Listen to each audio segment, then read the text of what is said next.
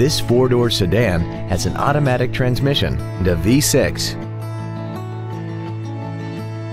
We hope you found this video informative. Please contact us today.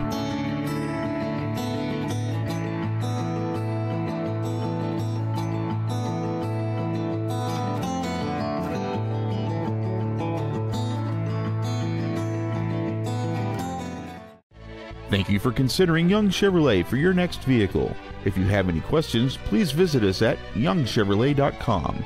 Give us a call or stop by our dealership on East Interstate 30 at the Buckner exit, only 9 miles east of downtown Dallas.